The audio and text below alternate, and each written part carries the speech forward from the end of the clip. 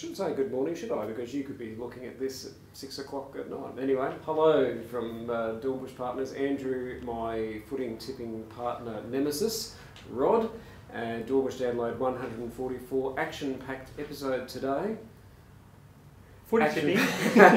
Footy tipping. I got four out of eight last week. Andrew, how did you go? Two. Two. Sorry, I should go that way. It's a bit rude. Two. It uh, was uh, not a happy outcome because it was pretty close there. You know, you dropped a couple of calls picking New South Wales, helped me as well. I was looking over Um, my shoulder. But yeah, Mm. I've just dropped the ball, uh, and that pun was intended for those playing at home. Anyway, we probably should actually talk shares and finance. Uh, Reserve Bank uh, met yesterday. What pearls of wisdom did uh, Governor Lowe and his merry band of uh, governor, governors uh, have for us? Uh, yeah, yesterday afternoon, Andrew, uh, the Reserve Bank met uh, their monthly meeting. They uh, did not change the rate for the 11th consecutive month. It's 1.5% um, still, mainly due to uh, low wages growth, um, low, low inflation or subdued inflation under the 2% still. Um, economic growth is, is, is increasing, however, just slowly. So there's no re- reason to increase the rates at all to, to slow the economy. Um, one thing I, I did note with statistics the last couple of days as well was um, uh, new building approvals uh, went down in May by 5.6%. Um, one of the one of the reasons for that was uh, the APRA, the Australian Prudential Regulation Authority, government department, um, put a cap um, regulation on the banks that any any uh, interest only, well, as they see more higher risk because you're only paying interest, um, interest only loans are capped at 30% of all new loans. So they, they wanted to reduce that to help um, take the heat out of the property market. Um, and it seems to be working with um, with low, lower lower building approvals. So And yet we've still got um, auction clearance rates above 70%. And I know you're talking new home starts, but we've got this bit of a disconnect in the economy or the housing market at the moment. Um, that's really one of the tells that we look for. You know, in Sydney and Melbourne, auction clearance rates were they above or below 70%, and the closer to 70% and below, the more nervous we become. Because if you think about the broader economy, and you talk about you know the RBA not changing rates, we had the mining boom which supported the economy, then we had the housing boom. So what's going to sort of support the market or the economy, broadly speaking, if housing moderates? You know, um, is it education? Is it tourism? Is it exports? agriculture. And that's all predicated on a falling dollar. That you know, even the dollar, where is it, 75, 76 cents? I mean, it's certainly better than it was a couple of years ago at a dollar. Mm. But the reality is, it probably should be mid to high 60s. So, yeah, a few headwinds for the share market. Well, sorry for the economy, and that sort of broadly speaking, then sort of um, talks about where potentially the share market's going to go. So I'm going to put you on the spot.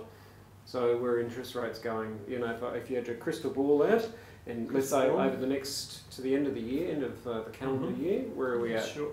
I'll, I'll, I'll, just make a comment before I make a prediction. Uh, Dodge, weave.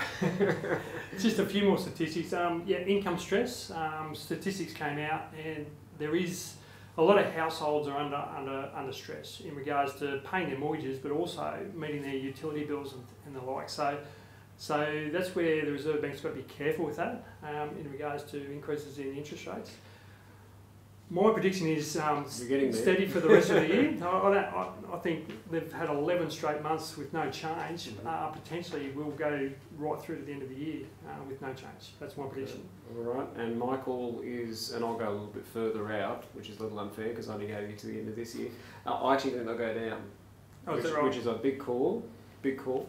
But you know the economy is not in a happy little place at all. Retail sales, so we had some um, retail sales figures come out uh, yesterday, and even though retail sales were up 0.6 percent versus 0.2, if you actually break those numbers down, department stores were down 0.7 of one percent for a month. So you know you sort of annualise that out. So say I'm a Myer or I'm a Big W or something like that. Uh, not looking that flash at all. So yeah, I, I think based on that um, mortgage stress or income stress that you spoke about, moderating housing market, dollar being too high, I, uh, I'd nearly put money, and I'm not talking about falling half a percent, but I'd nearly put money on another quarter of a percent. Kim Il Jung lobbing ICBMs, you know, it's a It's a crazy world out there, kids. Be careful. Be careful. Be careful out there. I'll stick with my steady prediction. But Yeah, but you're boring. um, so anyway, let's uh, personal insults aside. See, I'm trying to throw you off your game with your footy tipping. I don't think it's going to work, but anyway. Anyway, what happened in the markets? what about those Broncos? Um, the other thing, just briefly, um, we wanted to touch on today was talking around July. So July is historically one of the better months of the year from the share market. What are what's one July? July and December usually. Mm, yeah. So what's what from your point of view, Rob? What sort of drives that interest in July? Why is the market better? Yeah, you usually get uh, a lot of those like banking dividends coming through, um, and which drives uh, like the the May and June selling May and go away and filters through to June, and so the market has has come back off uh, last couple of months, and so now we're looking at um, opportunities in July, and that's um, usually the case um, year on year. Yeah, so certainly, and you're spot on. That tax loss selling really has a big impact on the market in May and June. Plus that wave of bank dividends. I mean, banks make thirty billion dollars after tax profit. They pay out around seventy to eighty percent of that. So you've got this slew of dividends between September and then again in December that get paid out, and that supports the market as well. Uh, but we've got to be a bit cautious because coming into July, it's also um, confession season. So companies report in August, but if they know their figures are going to be up or down 15%, they've got to put their hand up as soon as they know under the continuous disclosure policies of the ASX. So July can be a bit of a tricky month, more towards the end of the month, you know, companies are out there confessing, and as we've just spoke about retail, even though they had a pretty good day yesterday, Harvey Norman up 6 or 7%, JB Hi-Fi up 5%, you know, that's going to be a potentially tricky place for those types of businesses. So, as always, share market's a bit volatile. Have a chat to your uh, knowledgeable footy tipping Dornbusch partner advisors and uh, not so knowledgeable on the footy tipping, and uh, hopefully we can sort of guide you through the uh, maze. Rod, anything else you want to cover off on? Uh, it was just just one one stock. Um, This one we prepared earlier. One, one prepared earlier, Carnegie Clean Energy. Uh, just it's just a What's green. code? That's CCE. Mhm. Actually, Andrew, good point. Um, we'll have a chart on the screen for you.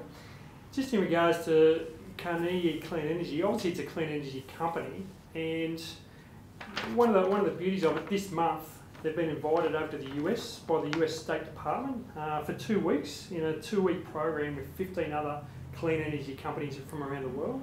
So it's it's very prestigious to be invited. Um, they want to US want Carnegie to help um, them meet their clean energy targets, which Mr. Trump, I'm not sure what his actually clean energy target is. It seems to be a moving feast at the moment. But With respect, I don't think he knows what it is either. but um, in relation to Carnegie, they're a 100% owner and developer of CETO wave energy technology, intellectual property, and also the 100% owner of leading Australian battery solar microgrid company Energy Made Clean. So they're wave, wave energy and, and battery energy. So um, just wanted to keep an eye on. Um, just in the new world, clean energy. I think the, it's running around six cents at the moment. So just wanted to keep an eye on. Certainly one at the pointy, pointy end. So another one to have a chat to us before you decide to do anything. But you're right, clean energy is certainly the place to be. So certainly uh, one to stick on the uh, the watch list. For sure. Anyway, till next week. Thank you. Thank you.